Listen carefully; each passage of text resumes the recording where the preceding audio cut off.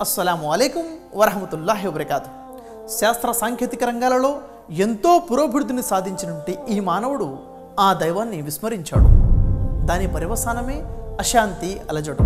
నీతిని పక్కన పెట్టి మమతను వెనుకకు నెట్టి మానవతను మట్టి పెట్టి మారణ హోమం రగిల్చి ఈ భూమిని మరుభూమిగా మార్చాడు.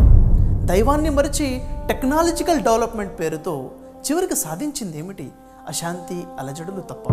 అంటూ ప్రతి ఒక్కరిలో సామాజిక స్పృహను వాస్తవ దైవభావనను కల్పించేందుకు మీ ముందుకు వచ్చేసింది మీ రుజుమార్గం టీవీ.